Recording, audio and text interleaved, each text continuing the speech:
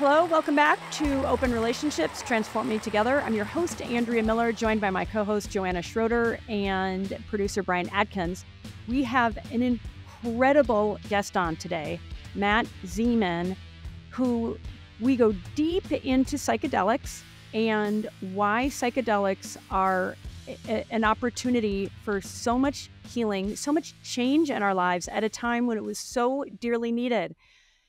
I can't, oh, it's hard to even uh, know where to begin to say why the show is so important to me and why I think it is going to be really important to you, whether it's PTSD, anxiety, depression, addiction, um, going through grief, uh, you or somebody that you know might be at end of life. There are so many use cases for psychedelics, and Matt is one of the foremost experts that helps understand I, geez, uh, what do you do with all that? He really unravels it. We unraveled it together. So let me um, introduce Matt. Matt Zemon is an entrepreneur, educator, leader in psychedelic wellness, and the best-selling author of two books, including Psychedelics for Everyone. He is the co-founder of Happy, a mental wellness company, co-founder of Psychable, an online community around psychedelics, consultant to the medical community, and more. Welcome, Matt. I'm so happy to have Andrea, you on our Joanna, show. it's great to be here. Thank you. Matt, psychedelics are very personal to you. I got that in reading your book. Uh, you start your book with five beautiful, revealing stories, one that was especially raw. Uh, you transformed your life through psychedelics and you dedicated yourself to helping others to do so. What is the top experience you had that caused you to go all in on psychedelics? Yeah. Okay. So the one that caused me to go all in is the first one. Um, I mean, that first, I went into this as a non drug user, as a really kind of low expectations. And to reconnect with my mom, who died when I was 22 and she was 49, to have this feeling of her being there was just, I, I can't even tell you how how incredible um, that felt, and to be able to kind of pull a string from her to me to my kids, and understand that I'm carrying her forward and they're carrying us forward, and that she's not gone, she's just moved. Totally changed my world. Um, in that same experience, I had this feeling of incredible safety and love, and that felt so warm and incredible. And then I realized, oh my goodness, I don't feel safe and loved in my everyday life. Why not? And all and um, a number of other things. But when I left that experience, I wanted to know what is this medicine? How does this work scientifically? What's going on in the, in the sacred realm? And that led to the, the master's in psychology and neuroscience, focused on mental health and psychedelics, and that also led to traveling around the world trying psychedelics from taitas and shamans and MDs and PhDs mm-hmm. and just trying to learn more. So that first one brought me all in, and everything since then has just been a part of the journey. Well, let me just even rewind. You talk about in your book about wailing at her Yeah. wedding, and it was so visceral for me. I mean, you know, let's say all of us eventually lose a, both parents, right? And and the exam the experiences can vary. Um, but it sounded like for you at the tender age of 22 to lose your mom, and then as you described it further, that y you were completely unmoored, and that the amount of grief that you experienced was extraordinarily profound. Yeah, I think my we my sister and I, who I'm super close with, when we lost our, our father, I guess I was 19. Our grandmother Oh. the year before that, our great aunt before that. So Oh. we'd gone through. We were familiar Ooh, with a lot of death. grief. a lot of grief, but there was nothing the same as uh as our mom dying. It was just it was such a big deal. She was the the uh the rock, the safety place, the the the person who always told us you are so loved. Um and we believed it with with her and to lose her was uh yeah, I became unmoored. I did not I lost any faith I had in God at that point. I felt alone in the world even though we had we had a a stepfather who cared very much for us, but it wasn't the same as uh, as the relationship we had with our mom. So you were Um, so so shattered, and remind me how it was like was it like two decades? Yeah, or how a little long bit was more than it? two decades. Okay. I, I was 22 and then I was 46. So 24 years later is when the psychedelic experience happened. And um, and again, that's why I just in my wildest imagination, I wouldn't have asked for this, couldn't have imagined this. And still, I'm like, wow, how lucky am I that I stumbled into this type of tool that had this type of effect on me. Well, and talk a little bit more. So that so the big one you you had that reconnection, and in part, I want to. I'm I'm glad you chose that because, oh God, I mean, grief is so painful for so many people, and when I think about the different use cases for psychedelics, I just that's not one that I've heard about that much. I've heard more around, um, and and hopefully we'll get to all of these, um, anxiety, depression, uh, addiction, PTSD, but the idea of being able to to heal from such devastating grief is is something that I, I want everybody to know about. And I realize everybody's experience is going to be different. So it's, there's no guarantee that if somebody else does a psychedelic And- trip that they'll reconnect with a loved one like you did. But the fact that that's a possibility um, to me is a really beautiful thing. Um, but I also want you to talk about what else it meant because you describe your childhood as being, you know, pretty pretty normal, and then and then in retrospect, um, how you felt, even though your mom said she loved you a lot, like there's this kind of um, um, um, kind of contrariness or something in that story. And in part, I want you to talk about it because I think the vast majority of us say, "Oh yeah, things were okay," and then, you know, and then when we start to peel away the onion, it's then that the that the healing and the insights can begin because you you felt like you had a pretty normal childhood, uh, but then you realize, oh crap, there were problems. So talk about Yeah. that, will you? And I def I I'm going I would love to, and I definitely, but I don't want to forget to come back to that grief thing. So there, there's something there I'd like to jump onto. But let's stay here exactly where you're asking. If you were to ask me, at my 42 year old me, how uh, I was fine, life was fine, my childhood was fine, I had my things, but it was fine.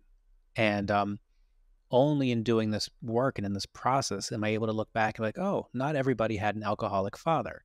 Oh, that isn't fine. Not everybody had this um, played peacemaker because we weren't sure what the next sentence would bring with with the alcoholism. Um, not everyone felt that okay. I get that you go to your father's every other weekend, and this Because you got divorced at a young age. yeah, my mom or got your- divorced you- before your parents first got grade. divorced. Yeah, Yeah. and um, but our dad was driving us drunk around, and we knew that was dangerous. But so in retrospect, I know my mom loved me. I know it, and I know she was doing the best she knew how to do, and she wasn't keeping us safe.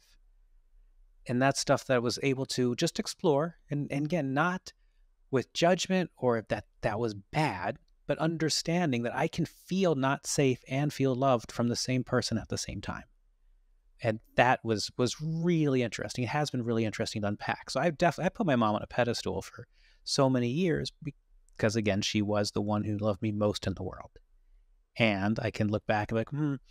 The story as an example that I would tell of her 18 year old my 18 year old mom getting on a bus in St. Louis to go to New York to make it as a writer.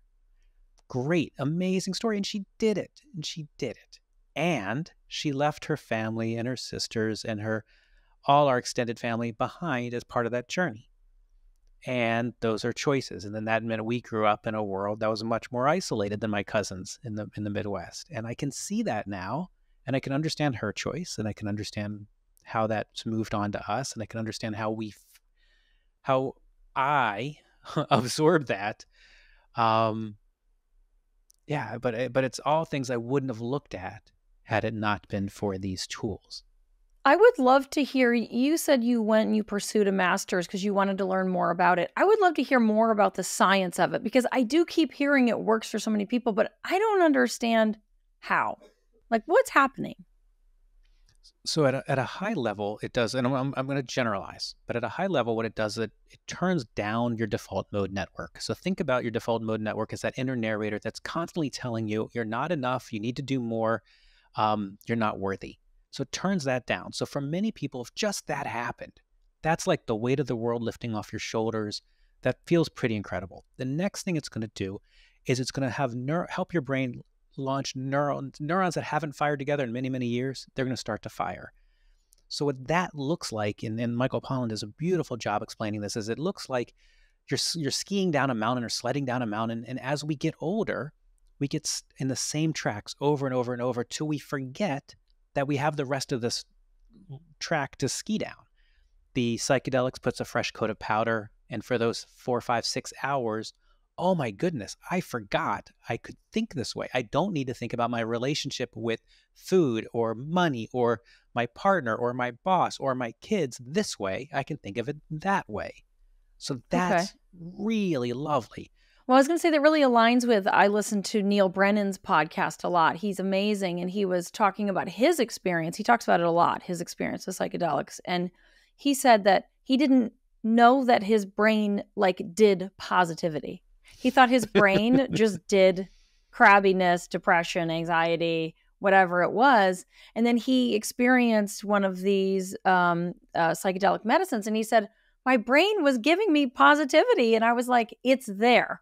And then he said he was able to go out and sort of pluck the positivity once he understood it was there and bring it into his daily life. So what you're saying about these grooves that our brains get into, that that makes sense. It's like, "Oh, it's there. I can go out of that groove." Does that feel right? It feels right on. And and actually you've just moved us in. We can come back to the science, but you've just moved us into the integration. So what I say all the time is psychedelics aren't a cure for anything. They are a catalyst. These are catalysts that help us awake. They help us remember. They remember that we're loved, They remember that we're enough, remember that we're worthy. With that information, and, and sorry, remember that we don't have to think in the repetitive thinking patterns that we've been doing. With that information, we can then look at how are we living our lives? How are we living in relationship? How are we not living in relationship? And without shame, blame, or guilt, we can do that without being bad me. I'm just is. Oh, I want to feel connected. Hmm, my beha- behaviors are disconnecting me from these people that I love. I need to shift my behavior. Great. What then happens is we get into what we call integration. What happens after for all these days when we're not on medicine? And that's where working with coaches, working with a therapist, working in a, getting into a community of support becomes so important. Um, where people develop contemplative practices, they develop meditation, they any of these types of techniques to help keep our mind on that positive, to help us live in alignment with the awareness that we had on the psychedelic. And that's where we start optimizing these experiences. Well, what I love about just what you're doing, and thank you for going all in and your beautiful book and the work that you're doing. Um, I, am going to also quote from Michael Pollan, who wrote um, the famous book, How to Change Your Mind. And and spoiler alert, but it's worth it. Read it anyway if you haven't, along with uh, Matt's books. Um, that the experience of of for him, and he he talks about just like you with multiple different experiences with psychedelics, uh, LSD and psilocybin and ayahuasca and so forth. Um, that the experience of of just profound love and connection. I mean, ultimately, and it's like our world here at YourTango and Open Relationships. It's all about love and that point to me can't be overstated. And I know it's what you emphasized in your first accidental, uh, if you will, psychedelic experience, that feeling of just such profound love. And and I know a lot of people feel like, oh, it's so fruity. And it's like, and it's just so like hippy dippy. But when I think about what you're saying about the catalyst and and Joanna, what you're saying about um, um, uh, Brennan is Neal Brennan is once you once you can experience that feeling and know it is in your brain and it is possible for you to feel such a profound sense of love and connectedness and that then by but by having the um the taste of that that you're willing to do the work to to have at least uh, something something more closer to that right? I realize maybe not everybody's going to live in bliss all the time. Uh, but just it does strike me as though having an experience of that is a profound gift. And when I think about, oh my God, how much hurt there is in our world. I mean, PTSD is practically normalized. Uh, deep depression is normalized. Anxiety is normalized. Um, addiction is normalized. Like we're in a, a loneliness epidemic. And so when I think about these medicines uh, being uh, opportunities for so many people to heal, I, I mean, I am so passionately uh, for more education and and access and so forth. And it just it feels like we're we're at the very beginning of a very big renaissance.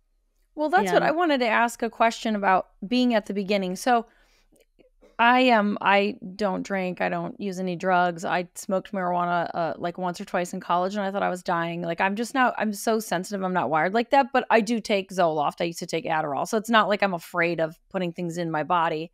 Um, but in my head, in the story that tells me that I shouldn't try this in some way, is if it can change your brain for the better, it could change your brain for the worse. Am I? Where am I on that? Where are we on that? these are powerful medicines, and I don't want to. I, I don't even. I try not to even use the word safe. I use risk reduced. So we can talk about science has pretty much agreed that for the most part, these are physiologically risk reduced. They are non addictive. Um, I, I refer to, and I'm, I'm going to take us around the block here, I refer to Dr. David Nutt from Imperial College in London, who said, all drugs are dangerous. So let's forget how they're classified and just look at risk, harm to self and harm to others. And when he put his chart together, on the far left hand side, a 72, the most dangerous to self and others was alcohol. And then you move down, you get to heroin, you get to tobacco, you move all the way and down. by the, the way, Matt, I'm going to just interrupt. We actually have that visual because I found it. And Brian, for those of you who are watching the podcast, you'll get to see it. For those of you who aren't, we'll try to link it in the show notes. But it's dramatic. So keep keep going with your explanation for those of you. I love that you're showing it. it. Yeah, it's. I mean, it's amazing that you get down to the far right. You get to um, mushrooms are a six, LSD is a seven, um, MDMA, MDMA is a nine. So all these drugs have the ability to be dangerous. What does Johns Hopkins talk about with their research? They say if you pay attention to source, where do your drugs come from, your set and your setting, the probability of having a, a truly bad trip is very, very, very low. So can these cause harm? Of course they can. And can they be good? Of course they can. And and and the work that I do is how do we occasion by factors of a high high probability meaningful positive experiences for people. Um, and, and we're doing that. I think pe- we, we're doing that in all the ways that people meet psychedelics in America. There's a medical model, there's a decriminalization model, and there's a religious freedom model. And all three areas are, are focused on this the same goal of of making sure these are not bad experiences that harm people. It does feel like because alcohol is legal, and this is something I've been talking about for a long time. I've lost two people in my life very young to alcohol. And I come from a family of of addiction. Andrea also comes from a family of addiction. And alcohol being legal, it's amazing the bias we have toward alcohol and the bias we have against something like a plant medicine because of that. And alcohol is there's basically no safe amount that you can drink on a regular basis. It's bad for your liver. It's a it's a known carcinogen. It's it causes so many deaths that we don't even talk about. And yet this these plant medicines that seem to have such a good safety profile, they were made not just illegal, but they couldn't even research them, right? There was a whole time when they, it was, we almost had to just pretend it didn't exist, right? We did. I mean, How do you I grew combat up in this just that? say no generation. We grew Yeah. up with with this is your brain, this is your brain on drugs. Nothing. There's, there's you're going to get addicted. You're going to all sorts of bad Yep. things are going to happen. It's You're gonna hard. you're gonna die if you smoke weed one time. That Well, that I- didn't I work. just wanna, yeah, and I just want to chime in. It's like so. I don't think it actually shows in this chart where um, things like SSRIs fall, right? Because to your point, Joanna, I mean, I know SSRIs have saved a lot of people, and yet, and and other forms of uh, psychoactive drugs that are prescribed have also been um, the cause of a, a lot of downfall for a lot of people, right? Well, especially so- Mm-hmm. for adolescents. The adolescents really, and most of them shouldn't be on SSRIs, and they're not exactly innocuous, especially with the adolescent brain. Well, totally. And so I, I feel like so this idea of how vilified um, uh, uh, due to Nixon and you know Matt, I'll let you answer because you're the expert. So so how? Yeah, I guess how do we get back from this being completely vilified? Well, and stick on this for just a second. I mean, antidepressants were never meant to be decades long solutions. They were meant to be episodic. And so we just don't have a healthcare system that is able to ramp people off at anywhere near the rate that we're able to ramp people on.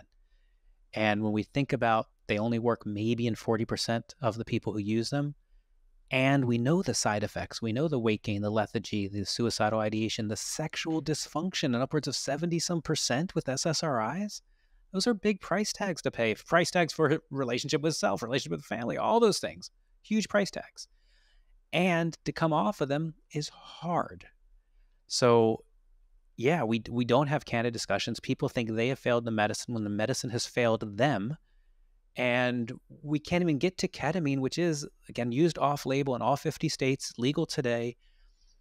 Rapid onsets of, of as, as a solution or as a as a um, a way to to combat depression, combat anxiety, combat suicidal ideation. People are not allowed to go to that until they've done multiple um, uh, of the antidepressants. It's it's way down on the list, and it just seems like that's a shame. And is that alone, due to is that due to um, insurance covering coverage, or is it because uh, doctors aren't allowed to uh, point people toward ketamine treatments if they haven't done other forms of uh, treatment? if you want so for prescription ketamine, which is actually called S-ketamine, it's a Johnson Johnson's product. Yes, you have to have failed multiple antidepressants to get insurance to cover it if um, if you're if you have the resources to be able to afford it, um, whenever your doctor is willing to tell you about it or you discover it, you can go and do it. But you're talking about roughly, I don't know, three to five thousand dollars for your first six sessions if you're going in clinic, twelve hundred dollars if you want to do it by telehealth. But you've got to supplement a lot of resources if you go that way. So it's a, it's an expensive path, and it's a it just seems unfortunate to me. Um, but even more so when we get into these other medicines, which have even higher levels of efficacy and more um, and less side effects and less risk of addiction um, than ketamine. I mean, ketamine does have is one of the few psychedelics that does have addiction potential. Is there a way in which, because there's so much research into SSRIs, they've spent so many decades researching and now have decades of data, people who've been taking them, that um, we know more about the side effects than we do about these plant medicines simply because of how many resources have been thrown at researching them? I think that's a fair question, but I think we can also say that indigenous communities and, and across the world have used these plant medicines for a long time. And if they had large side effects, if they were particularly dangerous, these cultures would have stopped using them. Um, so I think we have that as well. And we have a lot of citizen scientists that aren't reporting these side effects from these uh, these psychedelic medicines. Yeah. And that seems like another downfall of the policies that that criminalized research into these because we it's not a one for one. There's not an equal comparison between you know uh, ayahuasca and and Zoloft, not that they'd be prescribed for the same thing because they weren't even allowed to do the research, right? So or when they I've heard uh, people bring that up, and it, it's always like, well, what did you want people to do? Dr. Carl Hart has a beautiful book on this called Drug Use for Grown-Ups. So he's a um, addiction specialist, Columbia professor, 20 years or 20 plus years, and uh, and he talks about this flywheel between okay, the government said this is going to be bad. They put a lot of money into academia where they would hire people who would publish papers about drugs are bad that then got pu- published by the press, drugs are bad, then enforced by the police and reinforced by society. Propaganda. And it was a circle. It's just straight up propaganda. It's well, let me just jump in there. You say in your book, after 50 years of criminalization and demon- demonization, psychedelic drugs are about to enter mainstream psychiatry, psych- psychiatry and launch the most significant advancement in mental health treatment since the creation of the SSRI in 1974. Right? So when we talk about we are at the beginning of a renaissance. There is, so, to me, especially sitting here in a loneliness epidemic and a mental health crisis, there is so much room for for hope and optimism. And um, Joanna, I'm so glad as somebody who's so educated and so open minded that you already started by saying, Ooh, I'm not sure about this for me. Right. That's why I wanted to get you on the show, Matt, because I just feel like people have been talking about uh, the sort of resurgence of psychedelics since 20 what did John Hopkins started the uh, like 2011 maybe? Sure. I mean, it's earlier, been but yeah. you know, yeah. So like 15 years, and now just in these last three, four, it feels four, five, maybe when Michael Pollan's book came out, that there's been this in, sense of inevitability. But I, I know I'm really open to it, and so I want to put on my hat that says I'm not open to it, and help educate people. And, and even though your book says psychedelics for everyone, everybody, they're not for everybody, uh, but there are a lot of people that can benefit from it. Um, so let's just let's just rewind a little bit. What are the problems that psychedelics treat the most effectively? So so um psychedelics for everyone. Of course, not everyone should take a psychedelic. They're good for society, is my point by that. So, whether it's for you, whether it's for someone you love, or whether it's just information for how you vote, I think educating after 50 years of prohibition, getting the information to make an informed decision is what this piece is about. And for many of us, it's going to be like, I don't need to take a psychedelic. Great. That's beautiful. I'm going to go run. I'm going to do meditation. I'm going to do whatever I'm going to do. Great. And others will. With, um, oh my goodness, I just totally lost track of the question. Oh, uh, what problems Thank are, you. the, what are the problems Yes. that uh, psychedelic treats most effectively? So there's over 300 academic institutions studying psychedelics, and they're really looking at anything that involves repetitive thinking patterns. So what does that mean? Well, we can that can that can manifest as depression. It can manifest as anxiety. It can manifest as an eating disorder. It can manifest as a gambling addiction. It can manifest um, as a substance use challenge. On and on and on. And that's where it seems like such a wide net that this the research is looking at, but at the core, it's just how are we as individuals manifesting this particular pattern. They're even researching, I know this is not a behavioral thing, but there's research now with autism and psychedelics. University of Toronto, Imperial College. There's a group out of Colorado that every week there's there's a there's a call for people with autism with psychedelics once a month. It's they invite their parents to come on. It's fascinating. So when we think about all the ways that we manifest our our um, our programming, it can look like a lot of different things. We're just funny as a culture. If, in our culture, it seems to me that if if if you look at a someone who's got a substance use challenges, oh well, that's that's awful. They're a drug addict. But we don't feel that way when we look at somebody who's a workaholic. Oh wait, they're on the cover of the magazine. Yay them. Mhm. Oh yeah, we Um, talk about uh, we we are we are uh, merciless when it comes to being honest about workaholism. Yeah, g- That's- uh, Andrea and I are honest about the fact that we are achievement junkies, that we both always like to have a full calendar and a lot of success. Uh-huh. And well, and, and, and in all seriousness, so it, I mean, it comes at a big, I mean, big effing cost. I mean, I'm a mother of two amazing kids, and I I have reformed a lot. But in all seriousness, I mean, having come from a family with um, alcoholism, deadly, literally deadly eating disorders, workaholism, you know, many more uh, uh, um, in that in that realm. Um, when I think about what was safe for me uh, to to do as a as a way of controlling and and proving proving myself, I mean, workaholism was the safest, but it is it's real. I mean, the the price that I've paid, and that you know, I'm I'm glad that I can say that I'm I've been learning to forgive myself and be more empathetic. But it is like there is no escape. I mean, there is if you you know you can get help through things like psychedelics and meditation and psychotherapy and so forth.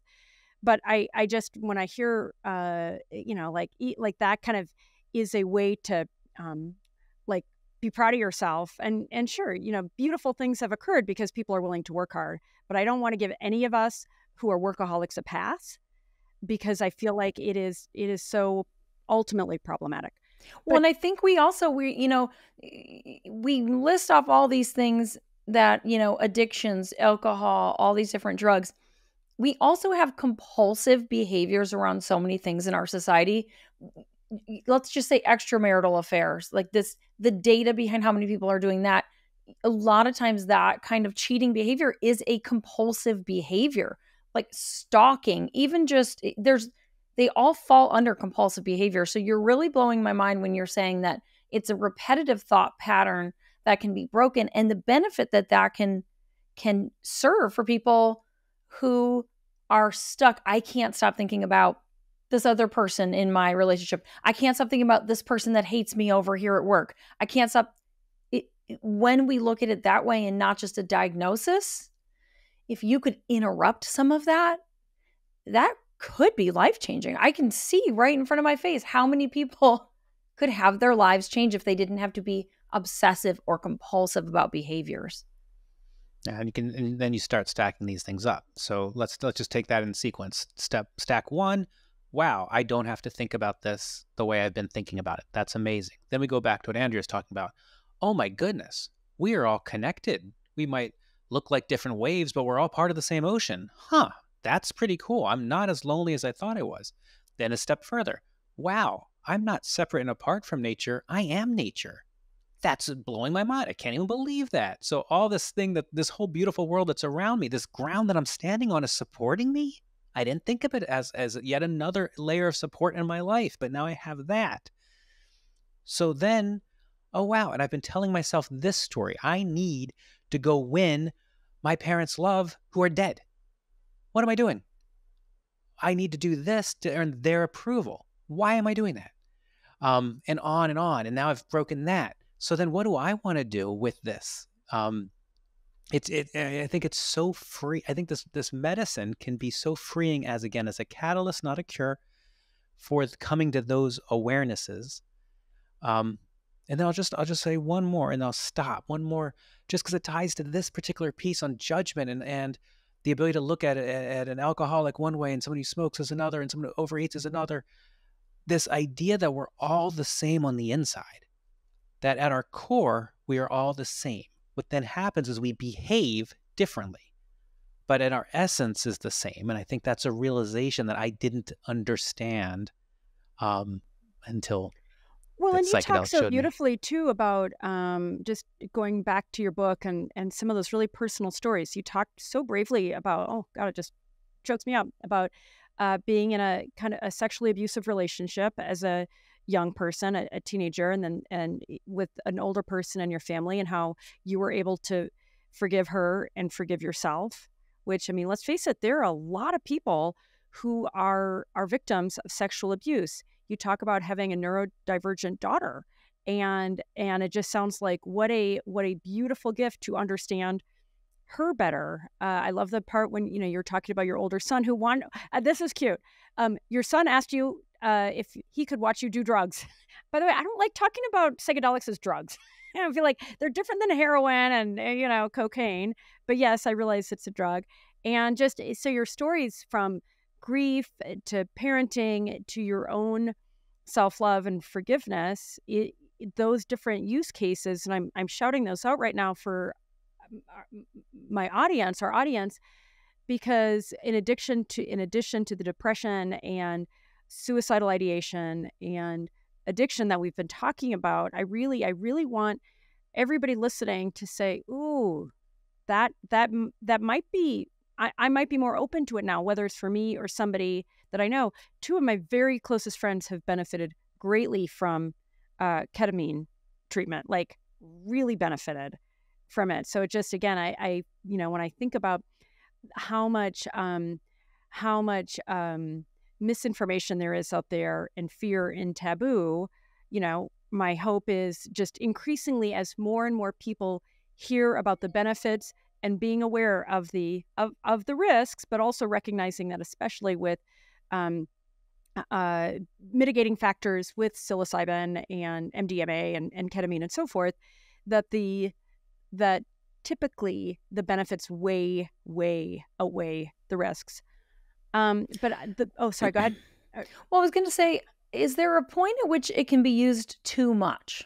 Like, is there a way in which I, I know we're talking about it doesn't, it's not technically addictive, but is there a way in which we could become compulsive about its use or maladaptive in that instead of dealing with our crap that we need to deal with, we think we can just go back for another dose? I love this question because it gets into kind of our nature of human nature. So, are there people who use psychedelics as a vehicle to escape? And it's no different than I took a trip to Japan last weekend and wow, that was different. And then I go right back into my everyday life. Absolutely. Absolutely. Happens all the time. Yeah, we Should can be people... maladaptive about anything. We of can be course. maladaptive about flirting with the person down the road. We can be maladaptive about eating cookies. Yes. Yes. So it happens. It happens all the time. What um and there's actually there is a divide in the in the scientific community. There are some medical professionals who believe this is a biochemical reaction. Put the ketamine in the body, feel the effects, move on with your life. And there's other medical professionals who believe it's a biochemical, psychosocial, spiritual process. Set your intention, gather your resources, come through a guided experience, integrate afterwards all these different things that have happened, for, find your community, find your positive behaviors, turn your mind for the positive. It's a philosophical difference. We are seeing UNC, University of North Carolina up the road, got a $27 million grant from the Department of Defense to remove the hallucinogenic properties of psychedelics. I don't oh. know if that's possible. Oh no, I, I did yeah, thumbs bad. up, not doing thumbs down. I was like right. twenty-seven million dollars for research. Nope, not that guy. But to remove that process, to, to try to shortcut the process. So um, it seems like it it would be interesting to see the research when you take out the hallucinogenic property, at least the research to find out does it still do its job? Yeah. Yeah. Could it still that impact the default mode network? Seems interesting. But mm-hmm. yeah, like if the, what they're I think I think what you're saying is it wouldn't do its job. Why are you even trying? But I can sort of see where that would go. And I want to clarify something else. So I as I said I take Zoloft and Dr. Chris Palmer really blew my mind. He's a Harvard psychiatrist. I'm sure you know him. Where I was listening to him talk about um, what we misunderstand about mental illness. And my grandmother was institutionalized. She had electroshock therapy. She had horrible medications that had horrible side effects before the SSRI. It was a terrible life. It, was not good, no matter how hard she tried. So when I think about Zoloft for me, I think about this legacy in my family, and I'm grateful to have this drug. But Dr. Chris Palmer, uh, on I don't remember which interview it was, was saying that SSRI is not treating your depression because we don't know where the depression starts and we don't really know what the SSRI has to do with it. We know that some people feel better, but it's not treated in that if you go off of that medication, it will probably come back. Yeah, that, that's, that's, exactly what I was thinking, uh, yeah. Joanna, that different from what you were describing, uh, Matt, as a philosophical difference. Uh, to me, I would actually say less, phil- I mean, philosophical too, but as a practical matter where um, there's a lot of evidence that shows in taking the um, psychedelics, you know, appropriately, uh, thinking about source, set, and setting, that you can um, achieve lasting change and that that is not typically what um, occurs with an SSRI. And it I seems like part of that is the integration. That there's almost like maybe there's other treatments. Like you're if you're start on that SSRI and you're not making all of the other changes in your life to integrate once you have that opportunity, maybe that's missing all around in mental health too. You know, we can learn something from what the what they're doing with psychedelics. The research there's a lot of research that says most episodes resolve. So when we talk about treatment resistant depression, treatment resistant anxiety, what is happening? And then with the antidepressants, we talk about numbing symptoms versus getting to that root and moving on. What I love about the power of these tools, these psychedelics, when used in a medical model or entheogens in a spiritual, is we're getting to the core. We're getting to the foundation. And the person who's driving that chain themselves is saying, I'm taking responsibility and I'm taking the power back to do this work myself. And I don't need to be told the answer. I'm going to go find the answer inside of me. And then I can work with a therapist, I can work with a coach, I can join a community to help me think through this, to help me apply words to this incredible experience. But I'm doing this. I'm taking this myself and moving forward. And I, and I, I think that's, I think taking back our agency in a culture where we're taught at a very young age to give our agency up to our medical professionals, our teachers, our bosses, this is powerful. And and uh, we talk about the, the kids. I have an 18 and 20 year old who are swimming in this soup of I need to change the way the world interacts with me to find my happiness.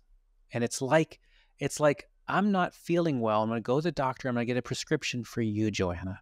No. I get to I need to take this back and change myself for the road that's ahead versus trying to change the road if I want lasting happiness.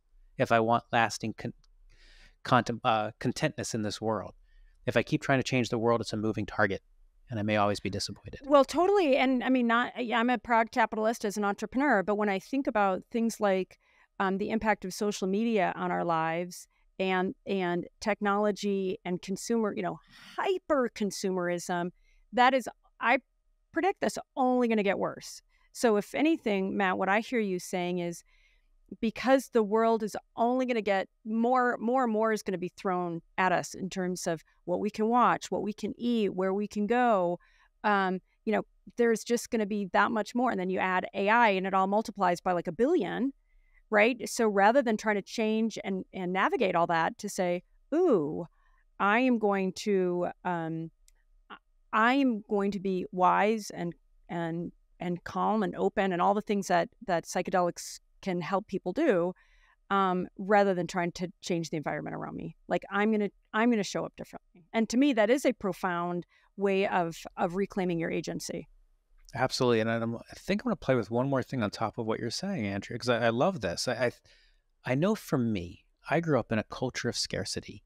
There's not enough. I need to work hard. I need to take what's mine. If I don't work hard, I'm not going to succeed. If I don't do more, I'm not going to succeed what I'm seeing in again these journeys is oh my goodness no no no this is a culture of abundance. What i'm seeing with ai and what i'm seeing with this point in time in history is we have never been more secure in terms of food in terms of housing in terms of again are there violence in different parts of the world? Of course there are but relatively it's lower than any other time in history. So we are alive in the richest time. Our kids are alive where they are so not worried about about yeah, food salmon. and shelter. They can yeah, think about for the most part. all these other things. So now, what are we going to do moving forward if we're not worried about surviving? How do we want to live in this world? Who do we want to live in this world with? And what is that going to look and feel like? What an incredible time to be alive. Yeah, I agree. And that's why I feel excited about this as a renaissance because at the same time, as you speak those words, uh, there there is it is um, inarguable that there's a loneliness epidemic, that there's mental health crisis, that there are so many signals that are showing how totally dissatisfied eh, uh, so many people are. I mean, the Pew Research is insane. I'm going to get it wrong with the exact number, but I'll get it mostly right. Like one out of four Americans don't have a close friend, right? I mean, there are so many things that are happening due to technology. Um, uh, you know, it's like I, I like to joke that if you have a credit card and an Amazon account, you don't need another person in your life, right? And so, so it's like people have been made redundant. And so when I think about the default mode network dampening and and sort of dampening that that critic inside of us and that the person that's judging and so forth, and that something in the psychedelics open us up to understand that we are part of a greater whole, that we are love, right? For people to get a, a taste of that, to me, back to your point of what a what a wonderful time to be alive. And and it's also why, you know, I'm I'm hopeful that um that uh people like you and and that are legislators across you know states and and you know um, nationally and and so forth will continue to take down barriers because one of the things that I was going to ask you is what is the number one hurdle for all these i mean really amazing outcomes that are occurring for people that i know for you for people i mean story after story talks about these incredible outcomes and yet m- most most places people live it is illegal to to take psilocybin. It is illegal to take you know uh, yes ketamine is approved um, mdma you know fingers crossed should be approved um, for legal use later this summer but the vast majority of places you're really not supposed to be taking this so like that's a big problem what do we do what do you, i mean what do you recommend I mean, so there. So I would divide this this exact question into two buckets, really three buckets. There's the medical bucket, the decriminalization bucket, and the religious bu- bucket. The medical bucket is, I prefer to have a diagnosis and to have a medical professional with licensure work with me with psychedelics. Beautiful we need to find ways to get them educated, to give them training, and to um, and to help that model expand using these different tools. And if we focus on MDMA and psilocybin as the next two logical ones, but there's other tools behind that that are in this psychedelic playbook. That's the medical model. The decriminalization model says no adult should tell another adult that they can't put nature in their body. That's a very libertarian perspective. But they're also saying it's not fair that if I can't afford the medical model, that I don't have access to these drugs. So we need them decriminalized so people can have access. Okay, that's beautiful. The third is this religious freedom. People saying we are a country founded on religious freedom. We had Quakers Amen, locked up and, and in Mhm. jails, and they came here to practice using just one and, and all many religions came here because they had the freedom. So we now have 200 to 2,000, somewhere in that zone, psychedelic churches in America.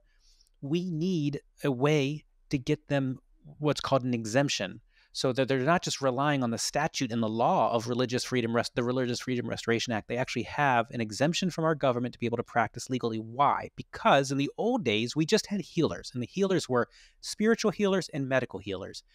We have divided that and oh, sorry one healer did both roles. We have divided that into two different roles in western society so and it's fair to say okay if we gave psychedelics to the clergy they don't have the latest knowledge of the brain and the body to keep us safe fair enough but conversely, if we give all the power to the doctors and we occasion these spiritual experiences, they don't have the training to help me unpack whatever the heck just happened spiritually. So we need a reconciliation. We need a collaboration. And the only way for that to happen is all of this to come above ground and to have open and honest discussions across medical and spiritual and these collaborations which reduce costs, these collaborations which open up access, these collaborations which make it possible for people who want a diagnosis and people who don't want a diagnosis to have access to these tools that save lives. Do you feel like I feel like at this point there's there's like a battle between the people who are psychiatry and people who are plant medicine. So it's a weird false binary, but how how do we integrate these two in so it doesn't have to be one or the other? Love that. I mean, there's these doctors are humans. And these doctors grew up with a scarcity mindset just like we grew up. And we see in the ketamine space, as an example, we do see infighting between the anesthesiologists. We studied ketamine the most, and the psychiatrists, but we do mental health the most versus the psychologist therapist, but we work with the people the most. And they have three different mindsets in, in many cases. We do see these these plant medicine, spiritual, indigenous communities saying, but wait a minute, we never stopped. When you all took a break, we kept serving the medicine, we kept doing the work. And if you take this from us, that's stealing. That's colonialism. That's not okay. And I believe at our core, we all we we all want um, we all want the healing. We all want the learning. We all want the growing. We know, I'm just going to pick on veterans for a moment 30,000 veterans have taken their own lives since 9 11, four times the amount that have died in combat. That's why we're seeing Republicans and Democrats linking arms to find tools for veterans. That's why we're seeing conservative and liberal donors donating to these causes. So I believe at our core, we all want the same thing. We don't want anyone to hurt, we don't want anyone to take their lives.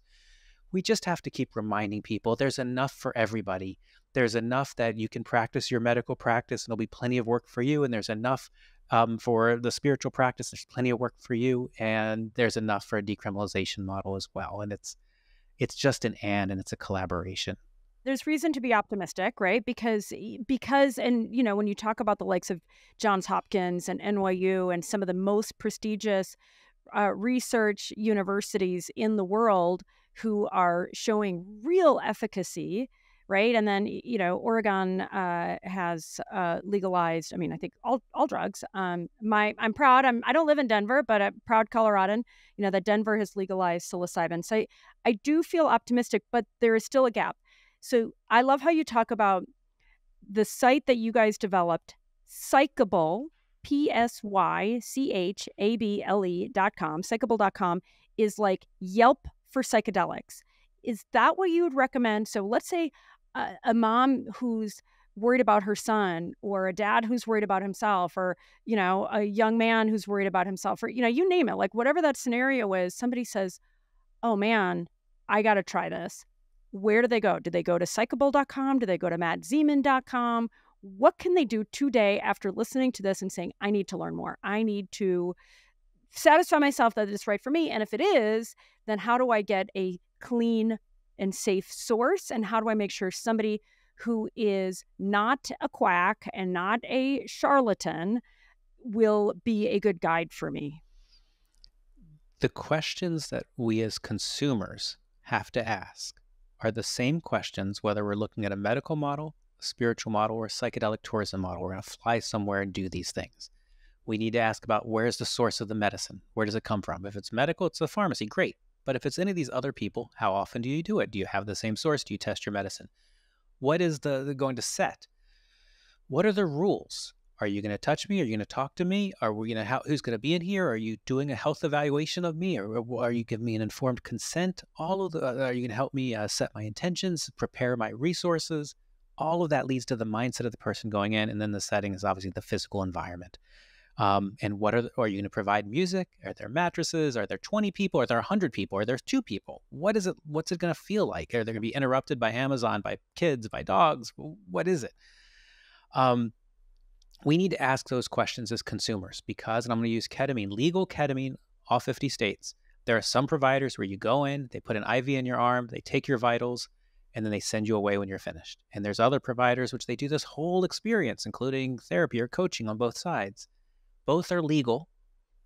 Not saying either is wrong, but we as a consumer need to ask. Same thing with the psychedelic tourism. There are retreats out there that do 100 people at a time, and there are retreats out there that do 10 or 20 people at a time. Both are can be beautiful, but they're very different. What do you want? What are you getting? And know before you plop down that kind of money. I'm going to back us up to health intakes our doctors, for the most part, they might not be as educated on this specific, the interactions with psychedelics. So I love like Ben Malcolm, Dr. Ben Malcolm, spiritpharmacist.com. You can go to him. He has nothing to sell you besides information and do your own health intake based on who you are, your prescriptions, your supplements, your background, your family history, and find out what are the risks that are known and unknown about whatever psychedelic you're uh, considering. Emily Kulpa, Dr. Emily Kulpa does the same thing. There's a psychedelic pharmacist. On, what's her name? You're talking fast. Emily. Emily Kulpa, K U L P A, also does psychedelic intake. Emily Kulpa. Okay. Um, I'm glad you're saying all this because it does seem like there are some people like the way the way I've seen it for myself is with my family history of pretty serious mental illness. If I'm functioning okay and my life is good and I'm happy, I feel like I'm not going to go in and mess with all that. Like, is there something I'm missing? Are there other people who really shouldn't take psychedelics?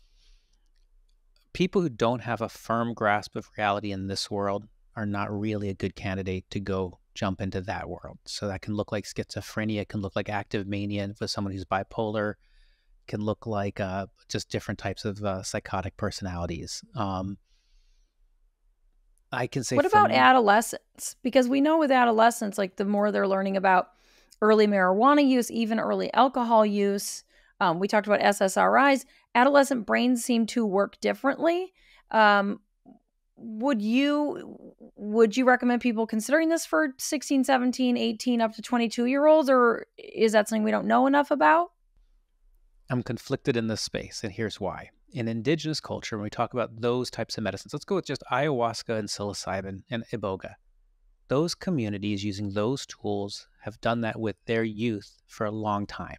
So my inclination is it's probably okay for, for in the right setting um, for those tools. We know that the average person in America who tries a psychedelic is like 14. So they're doing it anyhow. And we're not seeing a flood of emergency rooms with that. We are seeing Conversely, though, we are seeing psychotic breaks with cannabis, with the because of the THC concentration today. It's just a very different medicine than it was 30 years ago.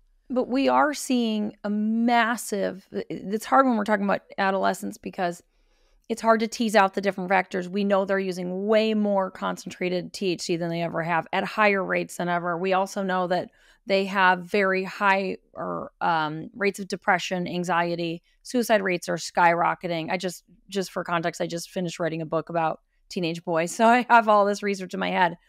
That it is hard to tease it out because we could say, oh, they're trying psychedelics younger and they don't have these emergency room visits. It's so confounded with so much else that it's hard to tease apart what's causing the problems with these young people. We we point right at social media, but we aren't also looking at the other factors in their lives. It seems like there's a lot of different things, you know. A ton of It's different it things. is it is really scary that that so many young people are using hallucinogenic medica- you know, things including marijuana without any supervision and very little research. And they have been though is my point. They haven't the the this the age hasn't gotten younger. It's just been it it's consistent. What but what we i think what's The different with, concentration of THC has gotten that's a whole gone way, thing. way, That's- way up. and it's all called cannabis and if you don't understand enough about strains and thc concentrations you can end up in the er in a blink of an eye. The um what's also interesting about this particular generation is okay they've grown up with school shootings which has got i just can't imagine what that feels like and i know like my parents generation grew up with the the nuclear bomb threats of get under the desk and that had to be scary but school shootings and they were seems- scarred by it. They just didn't talk about it. They didn't talk about it.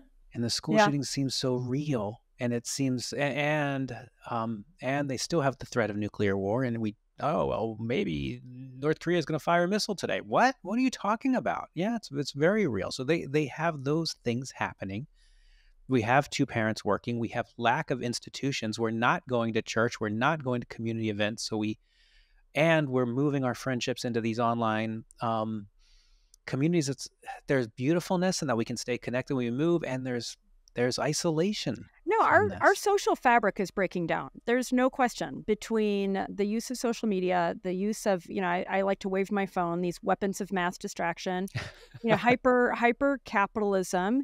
You know, we so there's no question in my mind that, and, and again, the the hopefulness in me uh, as as this occurs, and let's face it, um, uh, climate change is a is a real Mm. threat and, And uh, that too. concern for mo- most of us, I think. Um, that to think there there you know the earth is giving us um, medicine to to learn how to reconnect as human beings and to recognize how one we are with each other and the planet right? It's like just like just at the right time. But i want to go back to one uh, cohort of people that I'm, I'm curious with your thoughts are.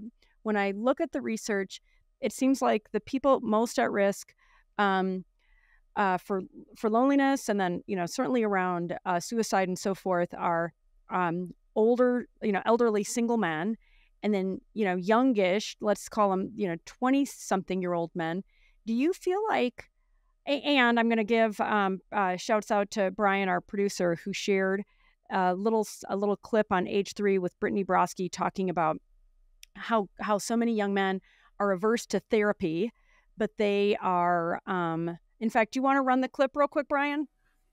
Yeah. you ready? you got it? you got it ready for me. All right cool thanks I mean, it's not that big of a deal. People go like, mushrooms changed my maybe, and not not to say that that it didn't, but I mean, it's not that? that big of a deal. That meme that's like, men do shrooms one time and discover empathy. right? That's true. I had an ego death, bro. Life is so fragile. Oh. You've discovered empathy. Yeah. You've discovered caring for another human. Yeah. Congrats. Welcome. Well, hey, a breakthrough's a breakthrough. Happy to have you. Welcome to the planet. Well, welcome to the show. And they're and they're being sarcastic but it, it did really stop me in my tracks when i think about who's at risk who is probably the least open to uh, you know traditional psychotherapy kind of um, uh, you know psychotherapy sessions and so forth. But the idea of saying hey i can and again i, I appreciate what you were saying before it's a catalyst it's not a cure-all but do you feel like young men potentially are are the cohort that have the um, greatest to gain potentially from greater adoption of of safe of of uh, I, I don't want to use the word safe of using psychedelics responsibly. Is that a is that a kind of a thesis It's- you would buy on uh, buy Um, onto? Sure, it's a massively important demographic, uh, but I, I think let's let's go to research for a minute and then come back to here. So when Johns Hopkins says, "What is the likelihood of having a a outcome that is positive and that is sustaining for a large period of time?" and they equate that to the connection with the mystical experience that something happened on this journey that was a reconnection with our sacred, was a reconnection with the interconnectedness that you were talking about before, Andrea. And the stronger that experience, the more the length of time that this sticks. Um, I think, and that you know it's possible. I mean, to me, like that's the big thing. Like, ooh, this is like it gives you a taste of the possibility, which to me it just feels like even if it doesn't stick, that you would you would understand that that is possible inside of you. All right, go ahead. So I'm with you. So then I so I think about this entire generation where they're looking at the cost of things in the world um, and saying, "Wow, I can't ever afford that house," or "I'm not buying that house in my 20s, 30s, or 40s. Maybe when my parents die, I'll get the house, but I can't do it. I can't play that game. That game no longer works." And um, and I think that impacts that entire generation. The climate control I don't know what bothers me. What or climate change bothers me only in that uh, we I don't think we talk. Yes, hugely problematic, and we are an adaptive species. So yes, you might not be able to eat this. We're going to eat that. We not people but I, live but here. Matt, I agree with you. I am. I by the way, you and I are like perennial optimists. But I, I think there is a large cohort of people who don't share our optimism and who who you know feel like between the temperature going up and the number of tornadoes and you know and these like terrible natural disasters getting worse, rightfully a sense of anxiety pervades. You know, even if rationally, you know, you and I could explain, oh, we're probably going to make it better but but maybe not right so i just i guess i'm speaking to the you know there being kind of this general anxiety that is troubling a lot of young people because this is what they're inheriting and I'm um, I'm actually agreeing with you. I so I'm saying I have this perspective and I understand this perspective of, of the youth and of the of the elderly.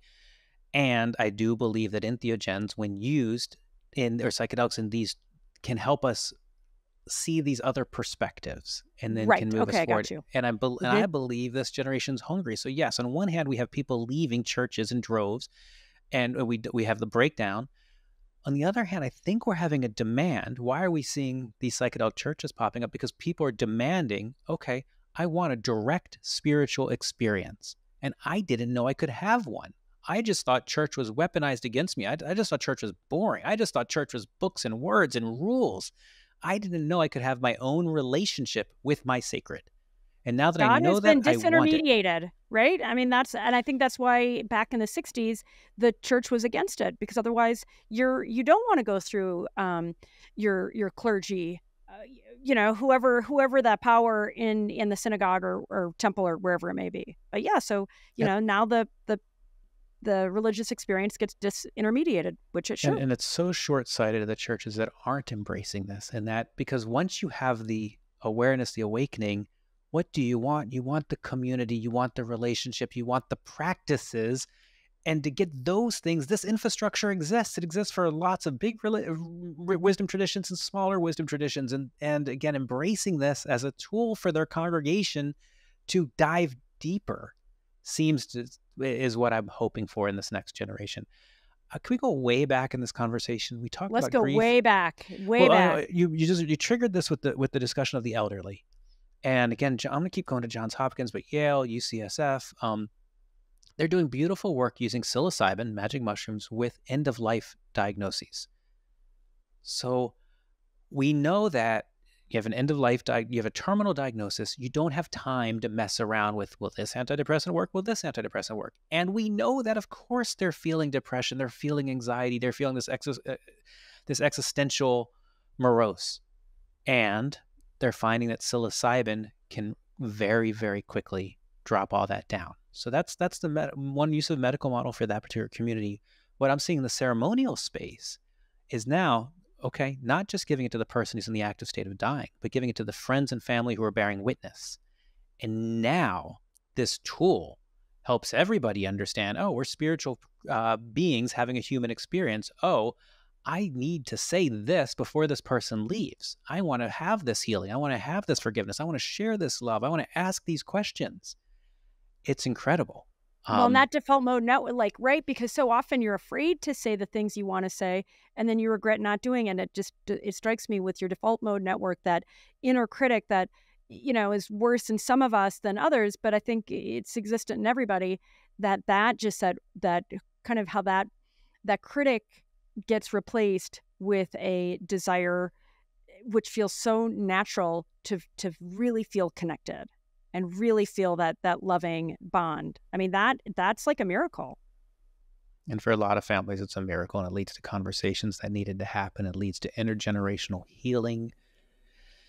It's, I it's mean, an I- interesting yeah. thing because people who are in those last few days or hours already have what they do describe as the hallucinogenic experience where they're seeing things people say it's spirits is it the brain? Is it that the brain's already trying to provide something that is um interworldly or i'm not having the right word but you know like my own my grandmother kept seeing her loved ones and this dog that she loved and it was like a very she kept talking about feelings that she'd never understood. It's almost like that makes the most sense right there because they're already their brains are already doing that in a way and then to be able to bring the family members into that experience sounds lovely Let me ask one last question before we wrap up. Thinking back to family and where where relationships can get hard, and you referenced how hard uh, your parents getting divorced when you were so young, how hard that was for you.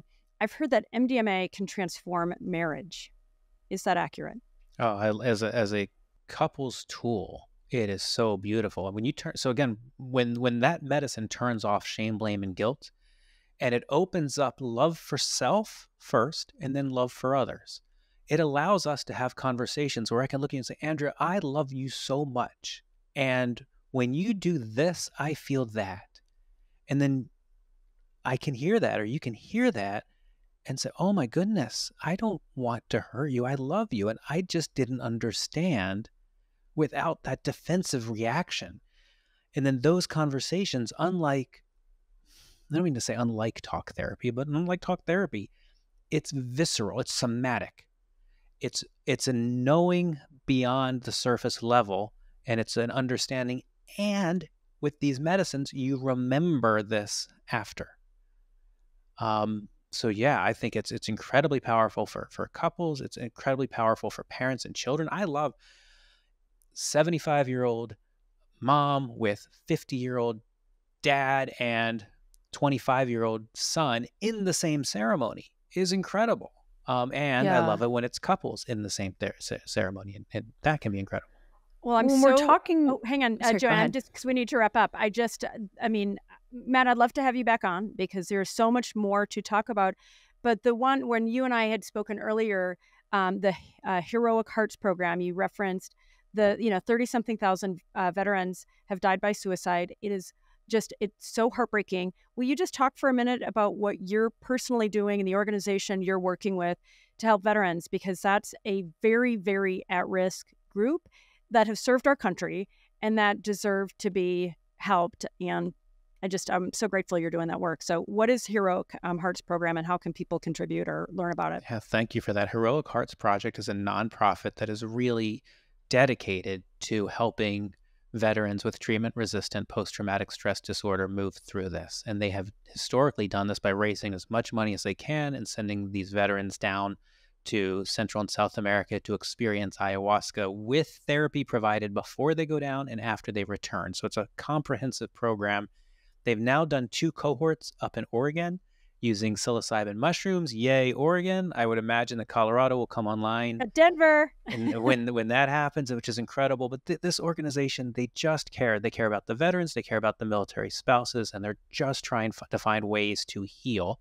For those who are listening who don't know, with MDMA, which is the the the medicalization of this, um, they've given veterans with treatment-resistant post-traumatic stress disorder three sessions with MDMA with therapy before and after, and upwards of 70% emerge without a post-traumatic stress disorder diagnosis. It's incredible, powerful medicine, and it's going to be very expensive. So I don't see what the, I see the work that Heroic Hearts is doing just continuing forward. I created um, with them a, a book called The Veteran's Guide to Psychedelics. It'll be out August 1st. And this book is really designed to help the veteran prepare, take their notes during their their their treatment or their ceremony, and then integrate back into uh, post ceremony. And then there's a whole book that works with the coaches and the therapists that they can work with the veterans efficiently who are who are choosing through this program. But I love the work that Heroic Hearts Project does. Amazing. Oh my gosh, Matt, you are amazing. Thank you for your work. Thank you for your big heart and openness. Uh, come back, and um, I look forward to continuing to learn from you. Thank you so much. Andrea, Joanna, Brian, thank you so much for having me on.